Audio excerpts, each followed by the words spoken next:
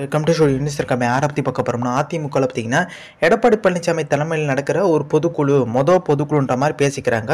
ஆனால் சசிகலா பார்த்தீங்கன்னா இதுக்கு முன்னாடி பொதுக்குழு நடத்தியிருக்காங்க. அது ஜெயலலிதாக்கு மறைவுக்கு அப்புறம். ஸோ அப்போ இருக்க ஒரு சூழ்நிலை அவங்க சிறை தண்டனை ஆரம்பித்தாங்க அதுக்கப்புறம் பார்த்தீங்கன்னா இப்போ எடப்பாடி பழனிசாமிக்கு வந்து மிகப்பெரிய நெருக்கடி கொடுக்க ஆரம்பிச்சிட்டாங்க. இந்த வெள்ள பாதிப்பில் பார்த்தீங்கன்னா அதிமுக ஃபேஸாக வந்து சசிகலா பேச ஆரம்பிச்சிட்டாங்க. திமுக ரொம்ப அட்டாக் பண்ணி பேசியிருந்தாங்க. ஆனால் எடப்பாடி பழனிசாமி பேசியிருக்க வேண்டியதை சசிகலா பேசிட்டாங்க. இப்போ சசிகலாக்கு தான் மிகப்பெரிய ஒரு முக்கியத்துவம் தர மாதிரி ஒரு டோனில் இருக்குது எப்பயுமே வேலுமணி இவங்கெல்லாம் பார்த்தீங்கன்னா டெல்லியை வந்து எதிர்த்து பேசவே மாட்டாங்க. திமுக கவர்மெண்ட்டை தான் வந்து பேசுவாங்க. அதாவது கையாளாகாத கவர்மெண்ட்டு முதவே பார்த்தீங்கன்னா முன்னெச்சரிக்கை பண்ணி வச்சுருக்கோம்.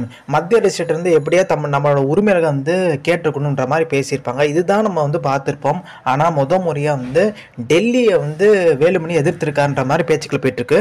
என்ன சொல்லியிருக்காருன்னா எப்பயுமே மாநில அரசு கேட்குற நிதியை பார்த்தீங்கன்னா மத்திய அரசு தராது. அது காங்கிரஸாக இருந்தாலும் சரி பிஜேபியாக இருந்தாலும் சரின்ற மாதிரி பார்த்தீங்கன்னா ஒரு பயங்கரமான ஒரு அட்டாக் கொடுத்துருக்காரு. இதுதான் பெரிய பரபரப்பாக பேசப்படுது. ஒருவேளை பார்த்தீங்கன்னா பொதுக்குழுவில் டெல்லிக்கு எதிராக ஏதாவது ஒரு தீர்மானம் இருக்குமோ? அதாவது சிறுபான்மை ஓட்டு வாங்குறதுக்காண்டி பார்த்தீங்கன்னா டெல்லிக்கு எதிராக ஒரு தீர்மானம் போட்டாங்களான்ற பேச்சுக்கள் அடிபட்டு இருக்கு. ஸோ இந்தியன் ஃபேமிஸ் பிடிச்சா லைக் ஷேர் சப்ஸ்கிரைப் தேங்க்ஸ் ஆச்சு இந்தி ஸ்டுடியோ